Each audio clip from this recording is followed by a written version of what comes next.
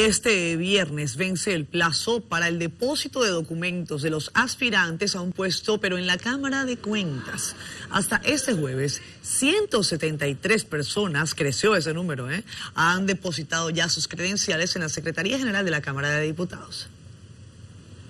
El trabajo ha dejado mucho que desear y muchas opiniones encontradas y, y por lo tanto nosotros nos hemos animado a venir a colaborar con la institucionalidad y el país. Hombres y mujeres serios, honestos, responsables, que hagan una fiscalización, que el pueblo se sienta conforme.